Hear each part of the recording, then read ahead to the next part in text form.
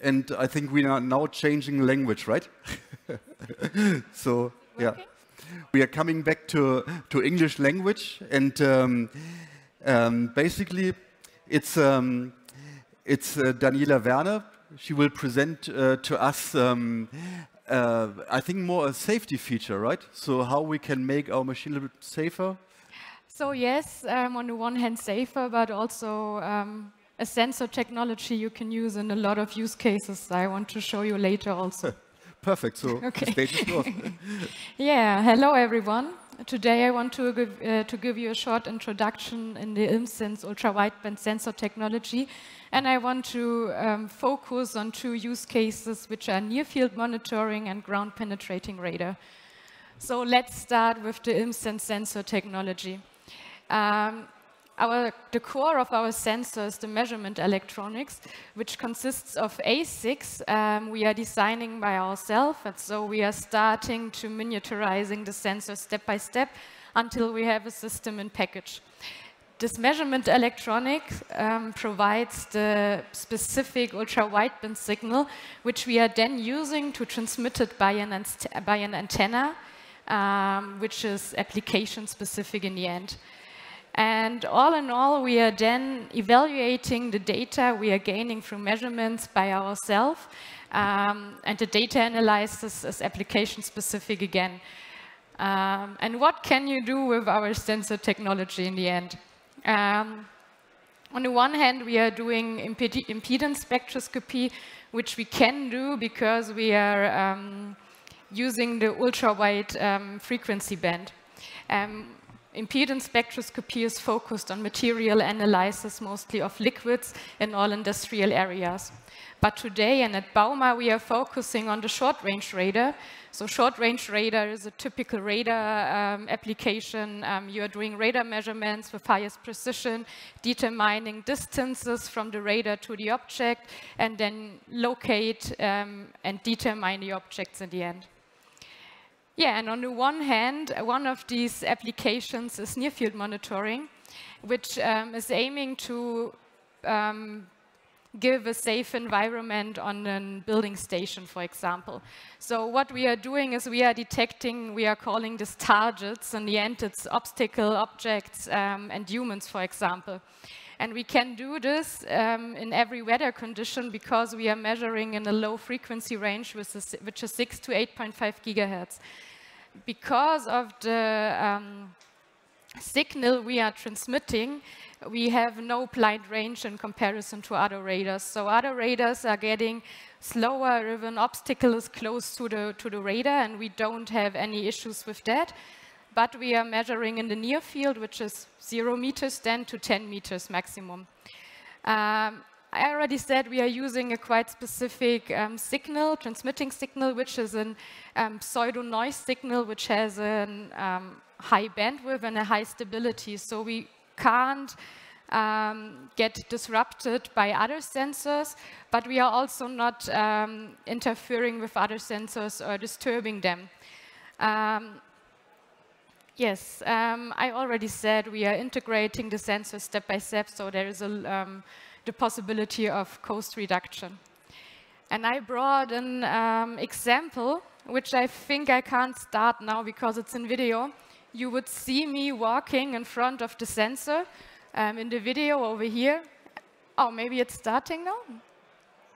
Yes. I hope so. So you can see me walking over here in the video, which is the reference data, just to show you that we are really measuring what we are saying that we are measure, um, measuring. And here you can see me walking around in the grid. Um, and you can see me even close to the sensor, so even if the camera isn't detecting me right now. Um, so as the video isn't starting, you can come to our booth and I can show it to you also. Um, as I said, we are using an ultra-wideband signal, which is um, 6 to 8.5 gigahertz with a low transmission power, 0.1 milliwatt, which is um, one, of um, a smartphone, for example. We have a quite high measurement rate, up to 10,000 measurements per second.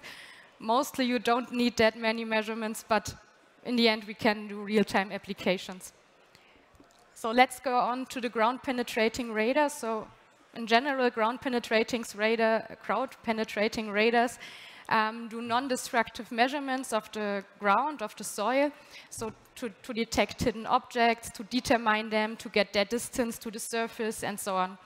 So one application I will show you later where we did quite a lot of measurements already and we have quite a lot of material to show you at the booth too, um, is measuring the, um, the thickness of an asphalt layer, for example.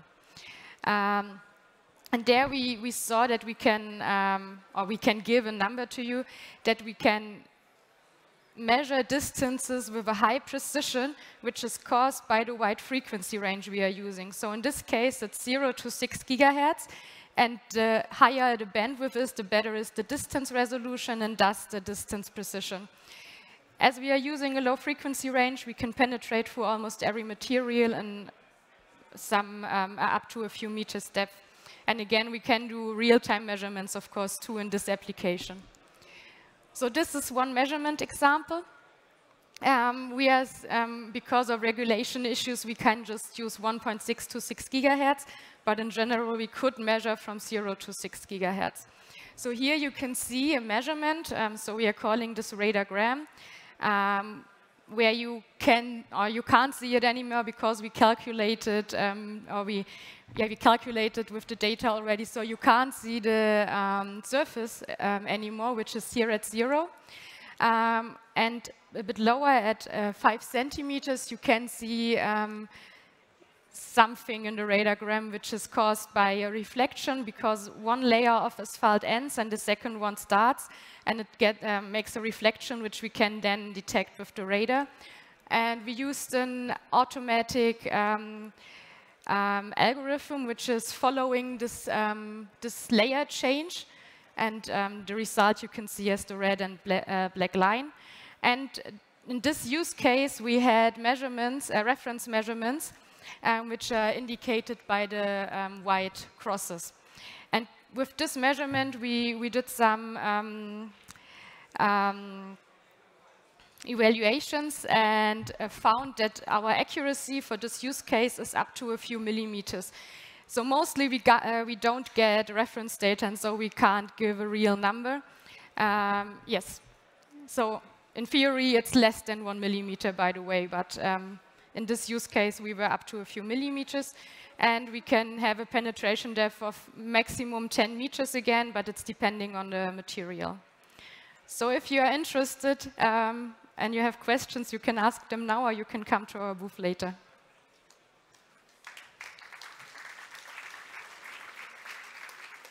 Yeah, so again, time for questions. So, is there any question from the audience? Ah.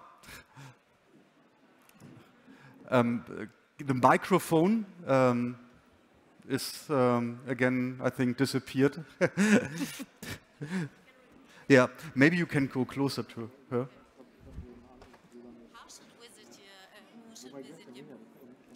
Oh, yes. Can uh, you repeat the question? Yeah, um, who should visit our booth? So in general, um, we are working together with companies who have a specific questions to a question to their um, application or to, to some processes they are doing, and then they have a problem or a question, and we try to answer this question with our data.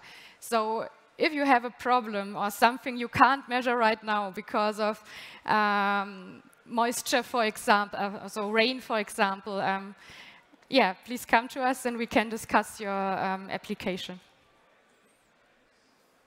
Okay, thank you. Another question? Maybe then I have a question. Um, the, the, size of the sensors, is it more or less like uh, on my car if I drive backwards and... no, so on the car you have a frequency range of, uh, or you are measuring a fre uh, frequencies of 77 gigahertz. So one antenna is just like this size. You're using, I don't know, I'm, I'm not sure. You're using a lot of those antennas. Um, and in the end it's the size of um, this, for example, the sensor. Um, and the lower the frequencies get, the um, larger the, um, the, wavelength get, and thus the size of, this, of the antennas. So our antenna for ground penetrating radar is like this. Normally you have antennas like this for ground penetrating radar and for um, near field monitoring they are like this. I see. Thanks a lot. Another final question maybe? If not, then I say thank you to you for this nice presentation. And um, yeah, and again,